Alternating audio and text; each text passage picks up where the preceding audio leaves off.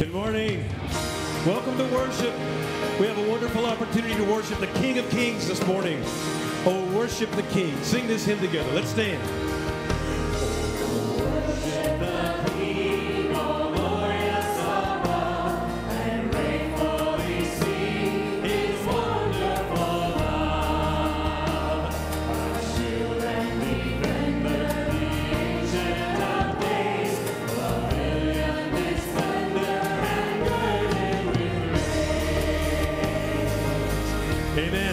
Oh,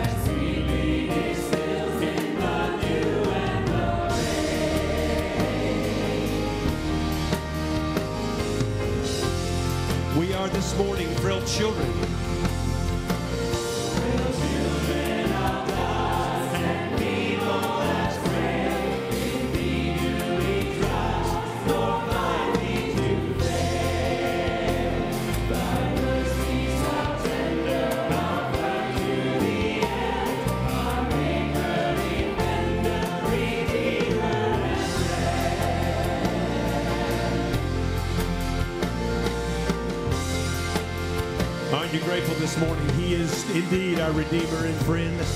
Let's uh, worship Him, praise Him, praise Him. Jesus, our blessed Redeemer.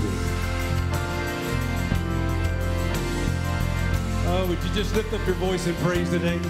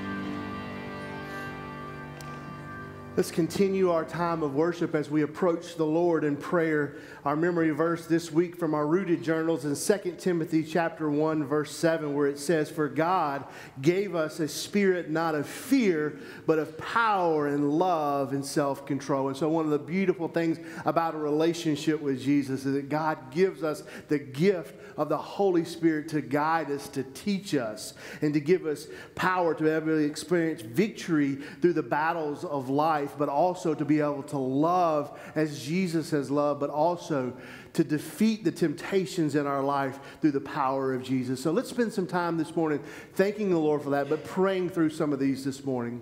Father, we come before you this morning worshiping you with a worshipful heart this morning, desiring to honor you Father, to give you the glory that you so rightfully deserve.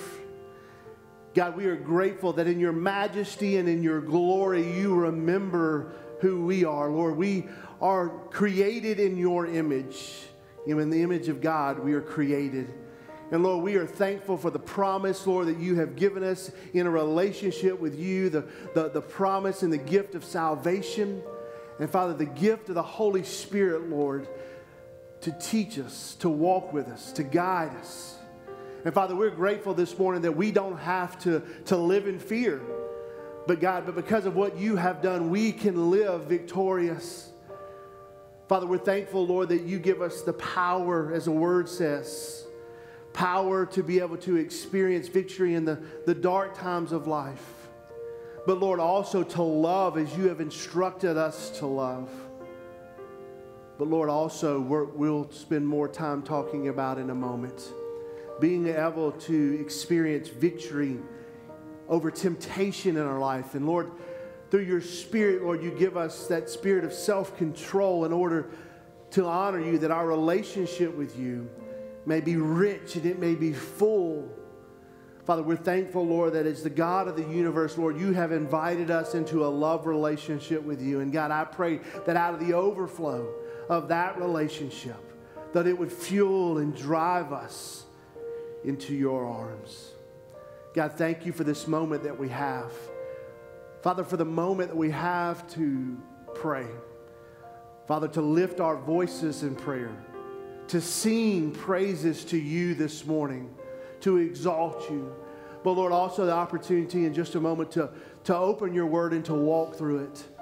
And Father, that your Spirit may apply the truths to our heart. Father, we thank you. And we pray this all in the name of Jesus. Amen.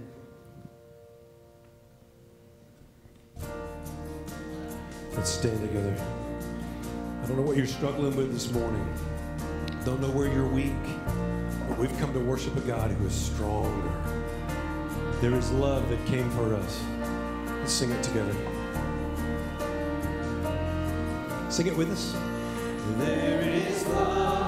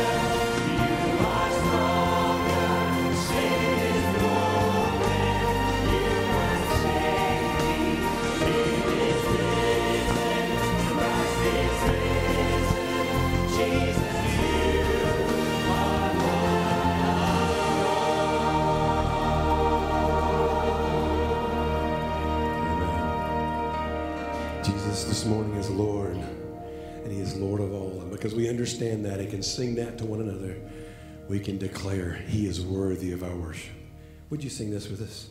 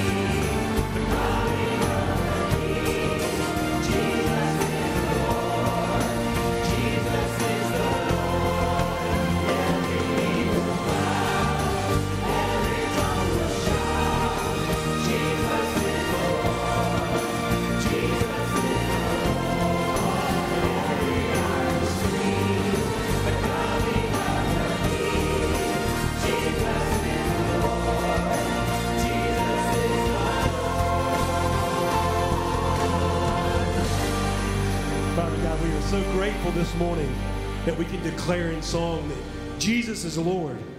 Jesus and Jesus alone is worthy of our worship, and He's worthy of our praise.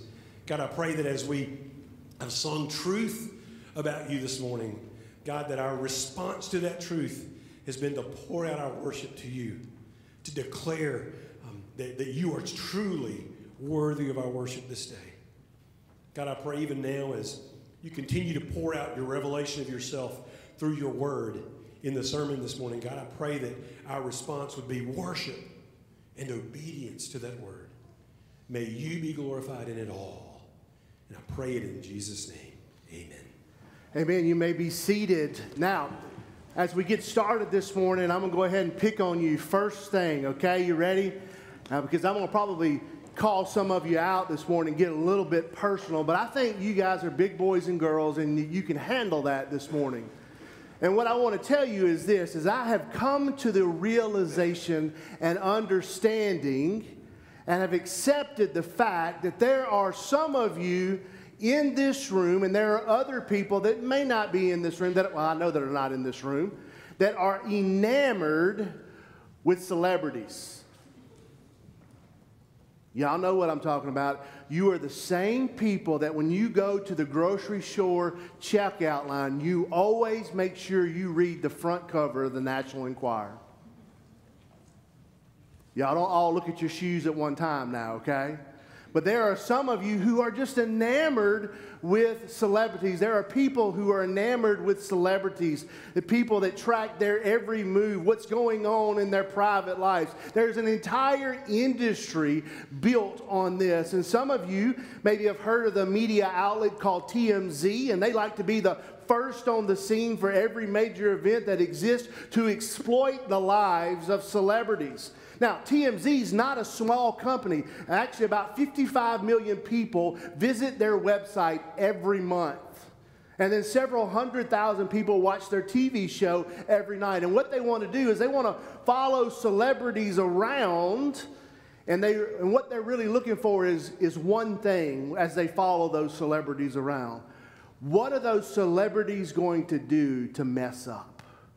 What are they going to do to mess up? There's always something going down. There's always a new scandal. There's always a new addiction, a new affair, some new development that's, that surfaced. And TMZ is one who wants to share all the juicy details with the American public.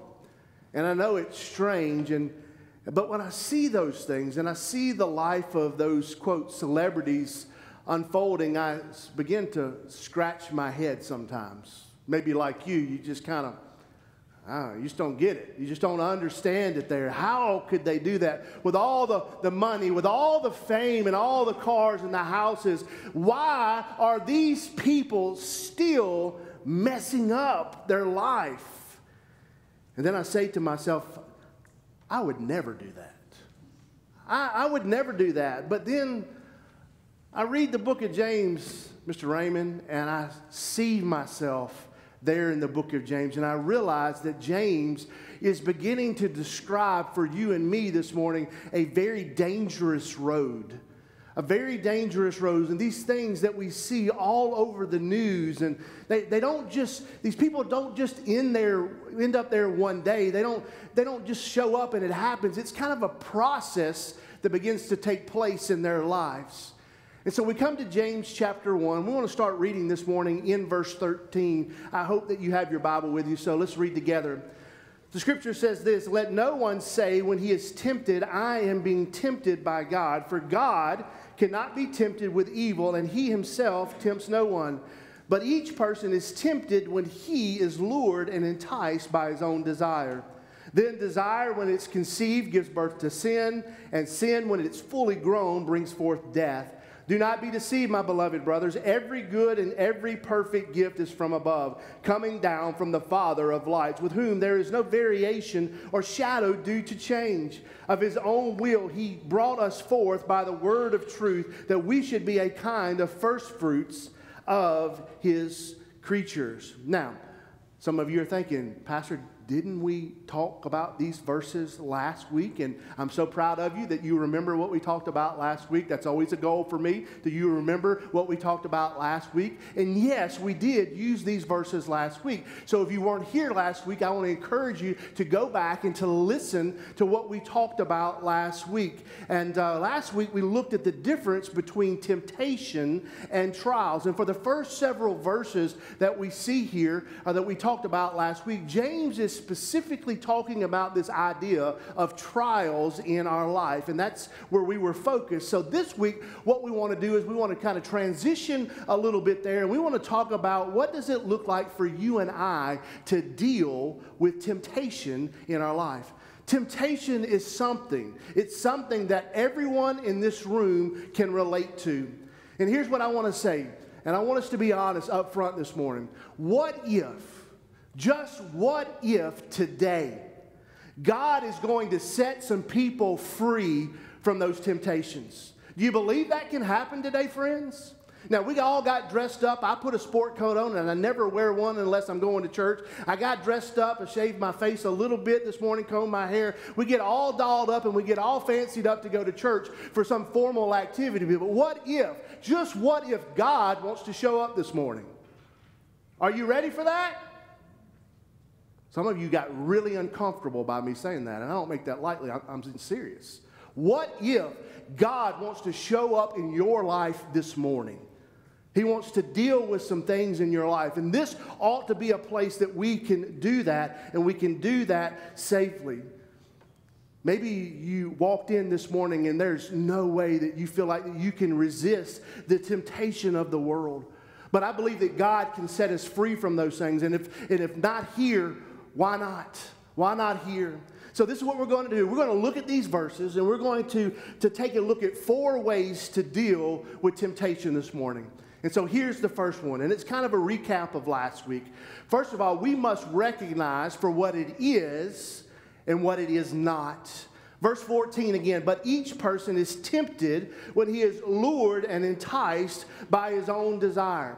Now, we need to define some terms, just as we did last week temptations. And here's what temptations are they are opportunities to choose something other than God. So, as we begin our deep dive this morning into the t- dealing with temptation, we have to define what it is and what it is not. So, let's define that. First of all, temptation is experienced by everyone.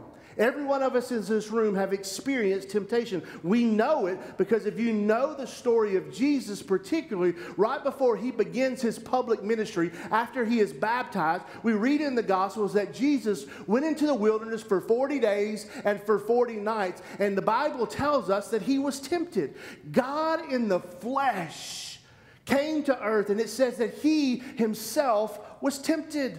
And the reality is, you and I, we live in a world. Temptation is part of the deal.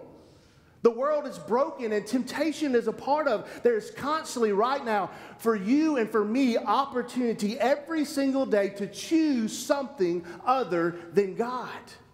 Temptation is experienced by everyone. But here's the second truth. Temptation is not sin. Again, we know that because we know that Jesus was sinless as the Son of God, and we know that he was tempted in the wilderness, but yet he was without sin. So, again, how do we combat this temptation? We see it in the life of Jesus. Jesus gives us an example. Jesus could have just told the enemy, hey, get lost, but he didn't do that. He gives us an example. Every time the enemy tempts him with something, he combats it with what? He combats it with the Word of God. And that's important for us as believers because we're not just going to be able to fight the devil by ourselves. We're not smart enough to fight temptation by ourselves. Jesus combated temptation in his life with the Word of God. Resistance is possible, and you and I can resist temptation through the Word of God. But here's the third truth temptation is not from God. And again, we talked about this last week that God can bring those, be the source of our trials, but He never tempts us. There are times when God will bring trials into our lives, but God is never going to be the source of our temptation. That's what verse 13 says. Let no one say when he is tempted, I am being tempted by God, for God cannot be tempted with evil, and he himself tempts no one. Satan, we know though, on the other hand, is a liar. He is the father of all lies. He tries to tell you that that thing that's out there in front of you that looks so good is that God has put that out there. And the Word of God literally tells us that here, that temptation is not from God. But here's our fourth truth temptation can be used by God. And this is a good place for us to, to, to camp out for just a minute. If you've ever failed, and by looking around the room, I could tell that all of us in this room have failed. We've all missed it. We've all had times in our life where we have messed up. When we succumb to temptation, even God can use those moments. Even in our mess, even in our mistakes, even when we fail, the Bible says His grace is sufficient for us. So, what does it mean that His grace is sufficient for you? What that means is no matter how far that thing went, no matter how deep that thing got, the Bible says in Romans 8 28, and we know that for those who love God, all things work together for good, for those who are called according to his purpose. Now, just maybe today you need to hear that. You need to hear the truth of God's word today. But did you notice there, there, there's not an exception clause in that particular verse there for your sin? And here's what I mean by that. It doesn't say we know that God causes all things to work together for the good unless it was really, really, really, really, really, really bad. Then God can't use that. That's not what it says, does it? It doesn't say we know that God causes all things to work together for good unless it's the same thing you've been struggling with for the last 10 years. It, doesn't say that. Why, why don't you just get your life together? Can't you just beat that? It doesn't say that. Maybe even this morning, as you've walked in, maybe you've done really well today. You feel like you should get an award today because how well that you have done spiritually so far today. Or maybe you came in here today and you are battered and you are bruised and you feel like this week or this month or maybe even the entire year of 2020 has been absolutely terrible. Everything that could go wrong is going wrong. And here's what the Bible teaches us this morning God is using that for your good. Maybe today you walked in God's grace and you resisted temptation. You walked in holiness and you are free and you came to worship and you came this morning with a worshipful heart. God is using that for good. But maybe today you failed epically. You, you messed up. You succumbed to temptation. You walked in all kinds of sin, and you're just here and you're just trying to see if there's anything left for you. You need to hear this morning that God's grace is sufficient for you. You need to hear that. Maybe that's what you came and you needed to hear that today. So what's so that's what temptation is and what temptation is not. But here's the second way that we deal with temptation. The second way is this is that we have to take responsibility for it. Like we talked about last week, there were three sources of temptation, and we don't have time to unpack all of that. You can go back and listen, but there are three sources of, of lies of temptation that we talked about. One of those is the world. We, we all know that we live in a broken, jacked up world, and, the, and that's the system and the structure of the world of, of sin that tempts us day in and day out. Another one, a source of those temptations, is Satan himself. We have a very real enemy, and he exists to tempt us. And the Bible says that he is a liar, and he is the father of all lies, and he is the source of temptation. But then there was a third one that we talked about, and it's the one that we don't like to talk about a whole lot. And that's the man and the woman in the mirror. Our hearts. Your heart will lie to you. We, we've all seen the coffee cup saying that say, just follow your heart or believe in yourself, or if you're a millennial here, just find your truth. That's the, the motto of that generation. But even as followers of Jesus, we eat that stuff up. We live in a self care, self love, self help world that there all of a sudden we all think that we're really awesome. And here's what the Bible just said in verse 14. But each person is tempted when he is lured and enticed by his own desires. Notice what it did not just say in that passage there. But each person is tempted when he is lured away and enticed by the evil world. Is that what it says? No. Or he is carried away and enticed by that pesky devil? Is that what it says? No. It's not what it says, but each person is tempted when he is lured and enticed by what? His own desire. That word desire, a, lot of times we automatically go to sexual lust, and that is definitely included in that. This word desire really means to be lured, away by our own sinful heart. And that's hard for us to grasp especially in the culture that we live in when we always want to blame somebody else for our mess ups. We are natural blame shifters. We don't want to take responsibility for our actions. And this is an ancient struggle.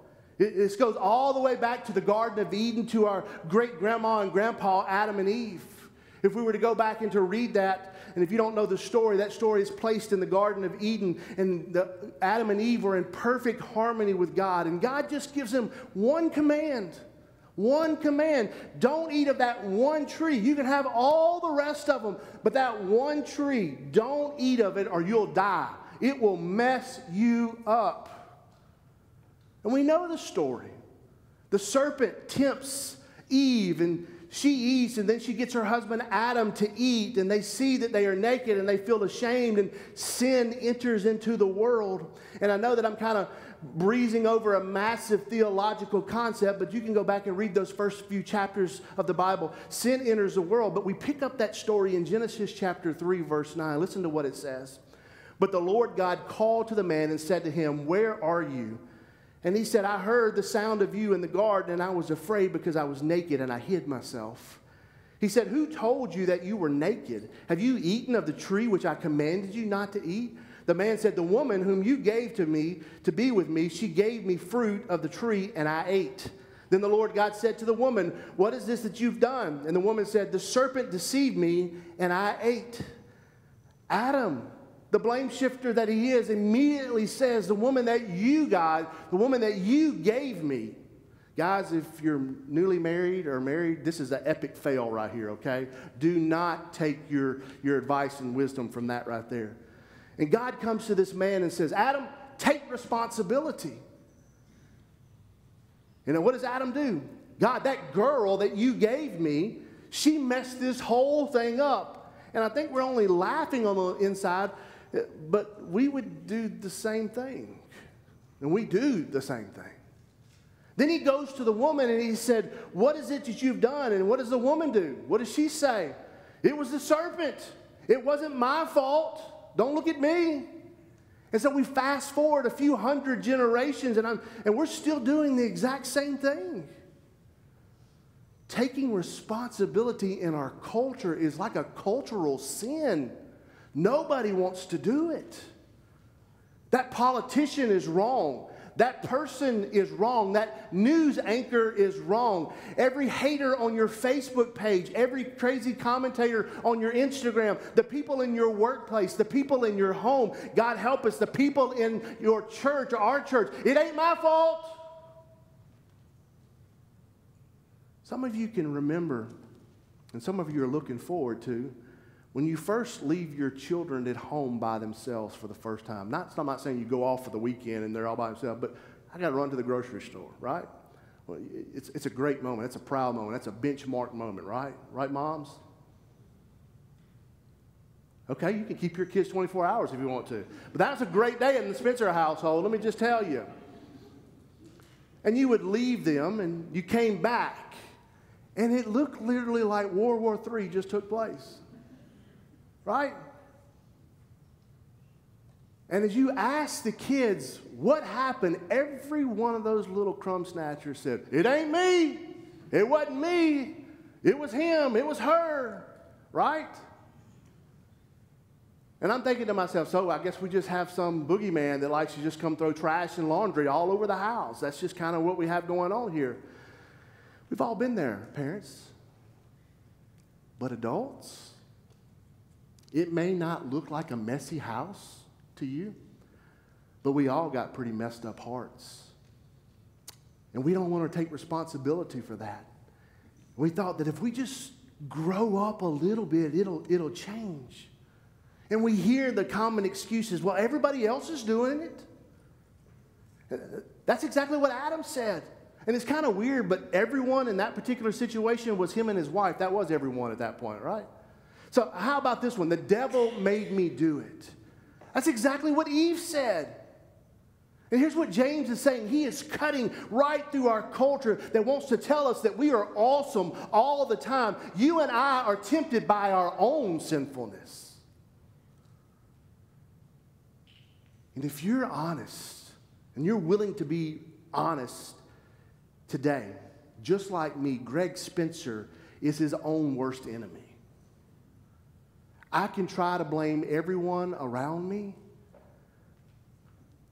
but as I'm trying to resist temptation, most of it's coming from me. Now, I don't want us to just camp out on the bad news. So here's some good news for you. You ready? If you're here today and as a follower of Jesus, He has promised us a gift. And that gift is Himself in the nature of the Holy Spirit. When you gave your life to Jesus at the moment of salvation, the Bible says that you were given the Holy Spirit of God to indwell your life. God now resides in you. And some of you are thinking right now, man, I don't feel like God is inside of me. That's because the Bible says that also that this old sin nature, this old messy sin nature that we have, it never goes away either. And so there seems to be a, a constant war between the Holy Spirit of God and me and the, and the flesh. And when I'm talking about being tempted by our own selves, I'm talking about that ugly nature that we still carry around until the day that we meet Jesus face to face, and that's the flesh. And that's why we looked at Jeremiah chapter 17, verse 9 last week that says this The heart is hopelessly dark and deceitful, a puzzle that no one can figure out. But all this talk about bad news, some of us think to ourselves, man, I'm not that bad, am I? Am I really that bad? And then you may fast forward in your life about five minutes, and then you come to the realizations, man, I just thought that. I just had that thought. It is that bad. It is that bad. And then you realize it's worse than I thought. And the hardest part about this, as we wrestle with the flesh, nobody talks to Greg more than Greg. And you can insert your name in that blank. I'm not talking about walking around like a, like a crazy person. I'm talking about through my thought life and through your thought life. Nobody talks to you more than you. Study back in July of 2020 from Queen's University in Canada by a group of psychologists suggested that every human being has over 6,000 thoughts a day. It's a lot of thinking. You know what that is? That is 6,000 opportunities every single day to be lured away and enticed by my own sinful desires. To deal with temptation, we can't shift the blame. It's actually good to get to the place where we go, man, I'm that bad, because at that moment it shows that we have a desperation for Christ. And when I realize how bad I am and I realize how good God is, that gets me on my face every morning saying, God, I need you. I'm not trying to put on this front as some perfect person who doesn't need you. I'm in trouble every morning. I, am coming to you because I understand how wicked and how sinful I am apart from you. So every morning we're getting in the Word and we're saying, God, help me to be a better husband. Help me to be a better father. Help me to be a better pastor, a better citizen of the kingdom because I need you. You understand how bad things really are. And it drives you, friends, to that which is good, and that is God Himself. We have to take some responsibility in, as we deal with temptation. We can't just keep shifting blame because we never deal with the issue. And here's the third way that we deal with temptation it's this we must realize how it works and where it leads. Look at verses 14 and 15. But each person is tempted when he is lured and enticed by his own desire. Then desire, when it is conceived, gives birth to sin. And sin, when it is fully grown, brings forth death. Know, a lot of times you and I, we will see sin as one single event. But God is showing us here through the book of James that it's not just one single event, it's a process. And so let me explain it to you. Nobody stands at the altar on their wedding day. And right before they say, I do, they want to make sure that they have their divorce attorney on speed dial. Nobody does that, right? Nobody does that because nobody says, Well, I'm going to get divorced tomorrow. Why? Because it's a process, it's not a single act. Nobody takes that one sip at a party and starts planning out the AA meetings that they're going to go start attending when they realize that they're addicted. It's not a single act, it's a process. That affair that started on Facebook or Instagram probably didn't start as a full blown affair. It probably started as a friend request and maybe a like and then a, then a follow, and it quickly became secretive and sinful, and, and we see it as a single act, but God sees it as a process. But here's how it continues it continues with deception. And that's what verse 14 is talking specifically about here. We are being lured away and enticed. And as you study these words and as you look at that, a lot of the commentators, when I was studying this, agreed that this is talking about a fisherman and how he catches and he lures uh, fish with his bait. Now, Greg is, is not a fisherman. Uh, matter of fact, some of you in this room, love, how many of you like to fish and think it's just unstressful? Fishing is one of the most stressful activities for me. It is stressful. So stressful, I had to borrow a fish bait. How about that? And Richard pulled this out of uh, his truck somewhere. But this is a nice bait. Now, it takes a big fish to eat on this right here. But just think about fishing for just a moment because I believe that's what James has in mind when he's talking about and he's writing this particular passage here. He's talking about this. If you're a fish that's hungry and you see this in the water and you're hungry, you're thinking to yourself as a fish, I'm about to hit the jackpot. This is the buffet of all buffets right here. Talking about the idea of being lured and being baited away here. And this big old fish, what he does is he begins to, to chomp down on what he thinks is going to be an amazing meal, right? But what they do not see are these big three shiny treble hooks on the bottom of this particular lure. And so here's the picture that fish saw something that he thought looked good, that's going to satisfy me, that, that's going to be what I need. And he doesn't see beyond the bait at the hooks on the bottom that are about to kill him. Nobody approaches these things and goes, man, I can't. A fish, no pro, a fish approaches this and says, man, I cannot wait to end up on Tim Hodges' plate on Friday night. Nobody says that. No fish does that, do they, Tim? One of them did, right? Nobody, no fish does that. Nobody does that. But here's the reality this is real in our life. Some of us right now are chasing things that look really good. They look really good and they look like everything that you want. They look like everything that you could possibly ever need. We can try to blame the devil and we can try to blame the world, but the reality is my own sinfulness is leading me to think that I need that thing. Or, or I want that thing, or that thing is going to satisfy me. That thing is going to make me feel good. I have no idea that as soon as I bite on that hook, it's going to get me. This thing is not what it promised to be, it's bait. But it allure, though, continues with deception. And then it results in disobedience.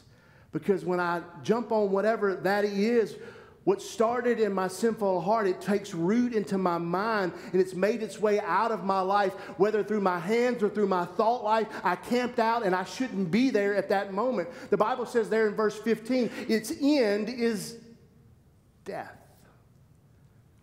Now, it may take moments, it may take even years, it may even take days, but the end result of giving into temptation, the Word of God says, is death. But I know what you're thinking. You may be saying, Well, I've sinned. I've given in to temptation in my life, but I'm not dead. I'm not physically dead. What, is, what does it mean by death? It, it, it, it, maybe it's not physical death. It could be, but, but maybe for you, it's the death of a relationship that means a lot to you. Or maybe it's the death of, of trust within a particular relationship. Maybe it's the, the death of your integrity because you know now you have to rebuild your integrity because the people around you can't trust you because you bit into something you had no business biting into and death came. We think, well, it's, it's just a little taste, it's just a little flirtation. Maybe you even said to yourself, it's not hurting anybody. Maybe right now you're thinking this little thing that you've got going on on the internet, it's, it's not really hurting anybody. It, it's my own secret. Nobody will ever know. The reality is, is we have to take God at His word. We don't take sin seriously because we don't believe what the Bible says. The Bible says that if you bite into that, it leads to death. And that's why James, he says in the next sentence there in verse 16, do not be deceived. We're so easily deceived. We laugh at the, the goofy little fish story here, but you and I can think of things right now, things that, that may not look necessarily like a lure there, but it, it's the same perspective. It's got the same effect. You think that this thing is, is going to satisfy you, whatever that thing is. And some of you right now are not seeing beyond the bait. Just what if maybe in this very moment, the Holy Spirit is showing you something, and it's time to say, I know what He's talking about in my life. And in these moments, we should call out to God right here, whatever it is. Say, God, I understand that that thing that I think would satisfy me is, is a lie. And the reality is, sin never satisfies. Look at, look again at those celebrities. Look at the people through generations and generations who go to the well, then they go to another well and to another well, hoping to be satisfied that whatever that well offers at that particular time, it, it won't satisfy. The bait is keeping you from seeing the lie. And so we recognize it for what it is. We take responsibility for it. We realize how it works and where it leads. But here's the fourth way that we deal with temptation this morning we must remember who our God is. We just went pretty deep into some, some bad stuff there through verses 16. But James now, what does he do? He begins to shift our focus off of us and our junk onto God, a good and holy God who is awesome there in verse 17. He says, Every good and every perfect gift is from above, coming down from the Father of lights, with whom there's no variation or shadow due to change. Of his own will, he brought us forth by the word of truth that we should be a kind of first fruits of his creatures. He's saying, remember, in the midst of all the junk that's around you, fix your eyes on the one who never changes. Fix your eyes on the awesome, perfect, powerful, grace giving God who only gives good gifts to his children. And so, what does this do for us? This makes us realize that I don't fight temptation in my own strength. James is saying, Look to God. God, the one who never changes. You and I, by our own willpower, cannot beat temptation. We may defeat it for just a little while. We can't do it on our own. We can't fight off sin, but only by His power can we do that. And here's the picture for us this morning. Every single day, you and I are constantly getting knocks on the door. Knocks on the door, constant knocks for temptation, constant knocks to go somewhere where we have no business going, constant knocks to go and sin and be tempted and to jump into some things that honestly are going to bring death into our life. And sometimes what we do is we just walk up to the door, we open up the door, and we say, Come on in. We're the hospitality state, right? We shouldn't be hospitable that way. Instead of going and opening the door, the first thing that we need to do is that we need to go the other way and pick up the phone of prayer and call out to God, who is our Father. He is the Father of lights. He's the good, grace giving God. Every good and perfect gift comes down from Him. He does not change. And you don't have to wonder what's on the other side of the door with God. He gives grace and He gives mercy. And that's why it says, of His own will, He brought us forth by the word of truth. And what does that mean? Friends, He saved you. He saved you. Don't forget that in the middle of your temptation, James is telling us this, this is the, the guy that saved you from your sin. Turn your eyes from the things that are tempting to our God who can save you out of those temptations. We have to recognize temptation for what it is and what it is not. We have to take responsibility for it. And we have to realize how it works and, and where it leads, and most importantly, Friends, I want you to know, and you need to understand, you need to remember who our God is. Let's pray. Father, thank you for a chance to be in your word this morning. Thank you for teaching us through your word. God, I pray this morning that through the power of the Holy Spirit, Lord, that you would convict our hearts. God, that you would apply the truths of your words to our hearts, that we may walk in obedience to you, that, Lord, that we may discover and experience victory over temptation in our lives. God, that we no longer be lured away and baited and enticed by the sinful temptations of the world, but Lord, through the victory, Lord, that you've promised us through Jesus Christ, Lord, that we can be victorious over these things. Father, I pray for everyone in this room at this very moment, for everyone that's watching us on live stream at this very moment, God, that we would understand what temptation does, that it brings death. Lord, that we would fix our eyes upon you, the good, gracious, giving God who never changes. And Lord, that we would experience victory over this temptation. And Father, we pray this all in the name of Jesus. Amen. Friends, if you're here today and you are walking through these trials of temptation right now, and it is having its way with you, what you need to understand this morning is this is you can't beat it on your own. But through a relationship with Jesus Christ, you can be victorious over whatever it is that you're walking through. And some of you have never come to that point in your life where you've trusted Christ as the Savior and the Lord of your life. And therefore, you don't have those resources to tap into to experience victory over this temptation. And today is the day where you need to get to the point in your life where you need to pour your heart out to God and say, God, I need you. God, I'm a sinner. And this day I am turning from my sin and I am turning towards you. I'm going to trust what you've done for me on the cross. You see, Jesus went to the cross to pay the debt for, for your sin and my sin. A debt that we could never pay, a debt that he never owed. And he died so that we can be in right relationship with God. And the resurrection tells us as a testimony that God has accepted that sacrifice so that we can be made right with him, but only until you trust Christ can you experience that victory because then you're given that gift of the Holy Spirit to indwell you, to walk with you, to be victorious in the midst of those situations. And so I want to invite you to come this morning, and I'll be standing right here. Want to pray for you. We want to walk with you. But here's where I got real personal with the, with the, with the first service. And you could have heard a pin drop just like I'm about to be over here, a pin drop. I am not naive to think that every one of us in this room is dealing with something. Because I am. Every one of us are. And I don't do this for show, and this will never be about show, but some of you need to be on your face here in just a moment. Whether it's right here, whether it's in your pew where you're sitting. Because listen to me. If we can't get to the point in a place where we can pour our hearts out to the Lord in repentance in here, we've missed it. We have absolutely missed it. This ought to be a safe place where we can do just that. And friends, and in just a moment, if somebody walks an aisle and gets down on the floor, You ought to be with them.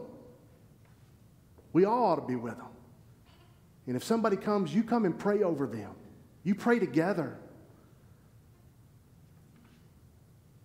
I've been pastoring for over 20 years now. I don't know how many years it is now. You just kind of quit keeping up with it after a while. We go through junk, don't we?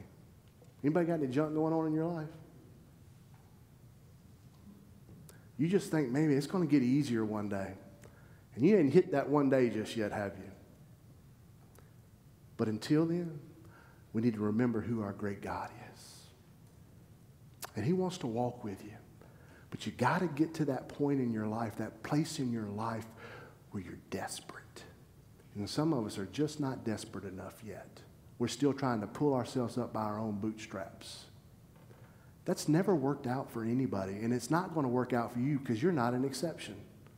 We all think we're the exception to spiritual rules. No, that's the father of lies speaking that to you.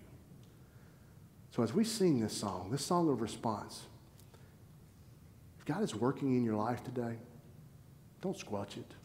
Be obedient. Let the people around you be obedient. Have compassion for them and be willing to walk with them during those difficult times. Amen. Let's stand together and sing.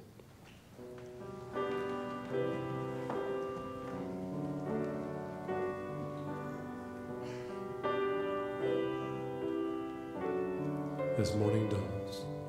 As morning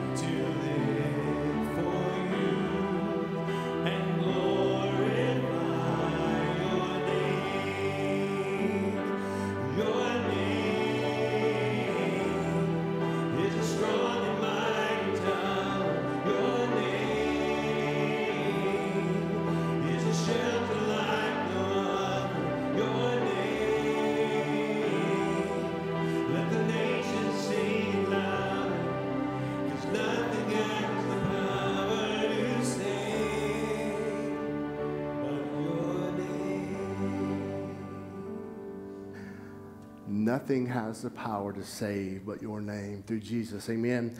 This morning, if you are a guest with us, we're honored that you're here with us. If you're sitting on the floor, there should be in the pew rack in front of you a connection card. You'll take that and fill that out, and right out here in our Next Step Center, we have somebody who wants to trade you a filled out connection card for a goodie bag, and they will do that out there. Or if you just feel comfortable, want to drop it in one of the offering boxes before you leave today, you can also worship through giving by dropping your offering in those offering boxes. A couple things to remind you of that are in the bulletin. One is um, uh, those of you who are able to be a part of our ice cream fellowship and um, and our uh, fundraiser, our bake auction fundraiser last week, we had a great time, and it was a time to laugh, and uh, I'm still laughing at some of that stuff, and. And, um, and Jared, Jared, you blessed my heart, brother. You blessed my heart, and you keep us on our toes, and I praise God for you every day. And um, so, anyway, our goal was about twenty-seven hundred dollars. I think we wound up between thirty-two and thirty-three hundred dollars. So, thank you for that. Um, that basically means that our students, they all had to pay their initial deposit, but after that, they were able to cover the cost for the rest of their camp. So thank you guys for participating and showing up and helping out with that. Uh, so next Sunday night, we have our night of prayer. We've done this before, and we want to do it again, where we're just gathering together on a Sunday evening, no sermon. We're just going to pray. We're going to pray strategically and specifically for the things, specifically some things that we have going on this summer, some ministries that we do need to spend some time praying for. I want to encourage you to be here at 5 o'clock. It's such a sweet time of worship. And then we have Vacation Bible School coming up June 6th through the 9th. And so if you have not pre registered, we want to encourage you to pre register. Mr. Jerome is already pre registered for the second grade class. He's going to be that for Vacation Bible School this week. And so you can go online to pre register. You can go to our website and uh, you can go to uh, firstbaptistellisville.com, click here, and it'll take you to a, a form to be able to register. Or if you're on Realm, you can do it very specifically and very quickly that way also. Also, next week, this Wednesday night, right after our midweek gathering over in the fellowship hall, we're going to have a teacher and volunteer meeting. The, uh, the VBS director has spoken and she is calling in the troops. And so she's going to get us all in line. I want to encourage you to be there. Join us for midweek. We, uh, we're not eating right now. We won't pick up our meals again the, about the second week of August. But we just have had a great time just in converse, walking through Psalm 119. And we're going to do that again this week. And last week was such a, a rich, rich time and want to encourage you to be there for us as well. Other things in the bulletin, uh, pay attention and you will do well. We're going to take about a five minute break after I pray, and we're going to have our regular scheduled first family meeting. So let's pray.